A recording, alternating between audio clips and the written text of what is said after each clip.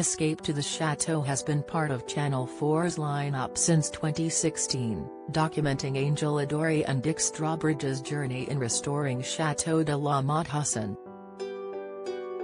A classic episode of the well-loved program followed the couple, and their children Dorothy and Arthur, seeking inspiration from Claude Monet's famous garden in Giverny, France. However, Angel was not impressed with something she heard in the artist's garden. During the episode, which aired on Saturday afternoon, Angel and her family visited the iconic house French painter Monet lived in for more than four decades. Dick showed his children lily pads which were floating in the water of Monet's tranquil garden and explained the artist adored them so much he created 250 oil paintings of them. Angel, who was in awe of the lily pads and the rest of Monet's garden, said, I love them, I absolutely love them. As she the garden of the world-famous painter, she added, this looks stunning to me, so stunning.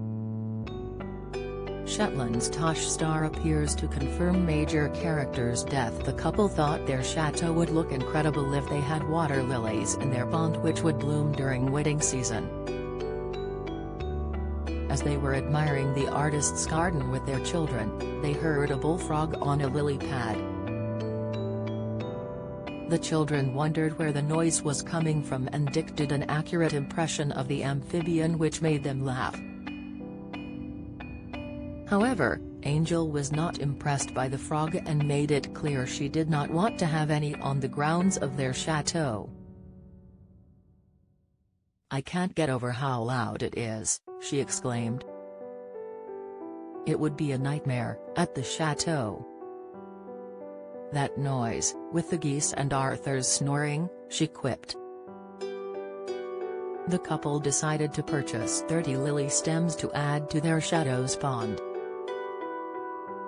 Look how beautiful they are, Angel said as Dick planted the water lilies back at their neo-Renaissance style chateau. You have to be delicate, everyone does. Dot Escape to the Chateau's Dick Strawbridge makes stunning tile feature, latest Escape to the Chateau star Angel shares her secret weapon for paint, Insight Escape to the Chateau's Angel put on the spot over project, update, Arthur, who was helping his father with the gardening, sweetly told the plants he did not want to hurt them as he tried to be careful with them. Dick hoped the lilies would continue to grow and quipped, "I'm the only one that doubts they will grow. I am rather wet and rather smelly so they better grow, that's all of that I can say. Dick and Angel bought their 19th-century chateau for just £380,000 post-tax in 2015 and have been revamping it ever since.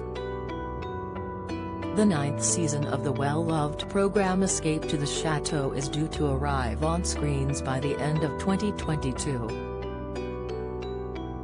There has been no word of an official return date for the docu-series as of yet.